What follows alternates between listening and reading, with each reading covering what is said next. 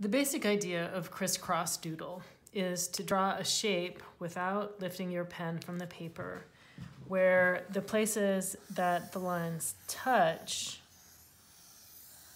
cross at a distinct angle and then at the end the ends of the lines meet. Um, there can be interlocking shapes using those same principles.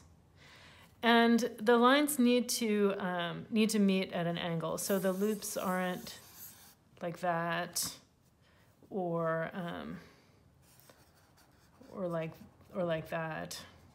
No.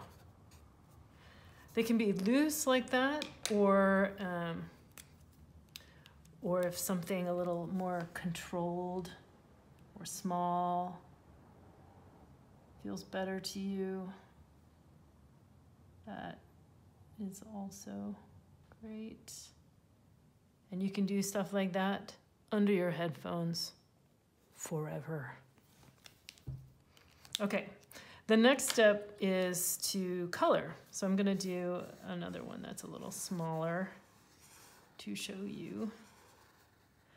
So one of the great things about crisscross doodle is that it forms a checkerboard pattern. So you can um, get lost in your colors, filling in that pattern. You can use colored pencils. I'm a big fan of colored pencils or watercolors or always markers uh, and on like that and you can fill it all in in one color or you can use multiple colors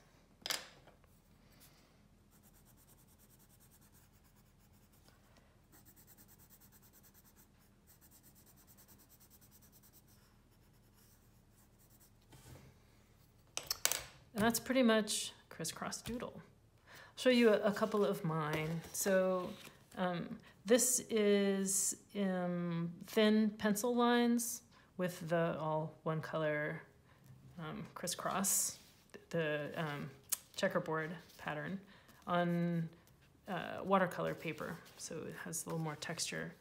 For this one, I just, I got really into doing the lines and decided to, um, to skip the color. Um, this is in my sketchbook.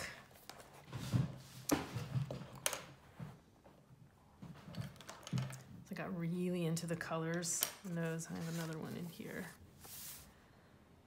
Like that.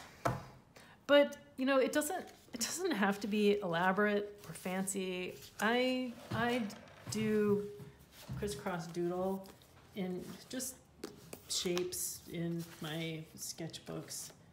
Just listening to music or a podcast under my headphones, maybe with a delicious beverage, and it's really, really satisfying and relaxing. So that's Crisscross Doodle.